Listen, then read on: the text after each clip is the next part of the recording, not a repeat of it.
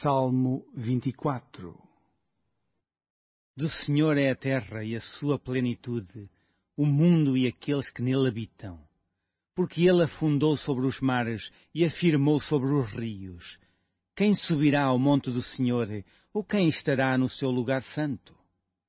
Aquele que é limpo de mãos e puro de coração, que não entrega a sua alma à vaidade, nem jura enganosamente este receberá a bênção do Senhor e a justiça do Deus da sua salvação. Esta é a geração daqueles que buscam, daqueles que buscam a tua face, ó Deus de Jacó. Selá. Levantai, ó portas, as vossas cabeças, levantai-vos, ó entradas eternas, e entrará o Rei da Glória. Quem é este Rei da Glória? O Senhor forte e poderoso, o Senhor poderoso na guerra. Levantai, ó portas, as vossas cabeças. Levantai-vos, ó entradas eternas, e entrará o Rei da Glória. Quem é este Rei da Glória? O Senhor dos Exércitos. Ele é o Rei da Glória. Selá.